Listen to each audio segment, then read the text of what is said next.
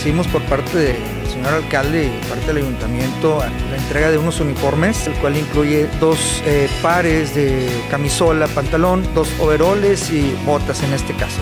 Entregándoles los uniformes, los nuevos uniformes, nuevo calzado, como nos habíamos comprometido. Y bueno, también de alguna manera festejando el Día del Paramédico y también informándoles, a pesar de que ya tenemos cerca de un mes de que se incorporó un bono de mil pesos mensuales para ellos, no habíamos tenido la oportunidad de hacerlo formal. Eh, estamos en modernización del área de protección civil y bueno, ahora vamos por nuevos proyectos para que siga consolidándose.